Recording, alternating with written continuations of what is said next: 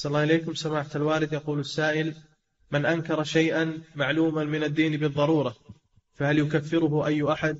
أم أن هذا خاص بالعلماء وأهل العلم؟ إذا كان جاهلا ولا يعرف المعروف أمور الدين هذا يبين له يوضح له. فإن أصر بعد العلم والبيان فإنه يحكم بردته. ولكن يتولى هذا أهل العلم راسخين في العلم. كل واحد يتولى التكفير والحكم بالردة.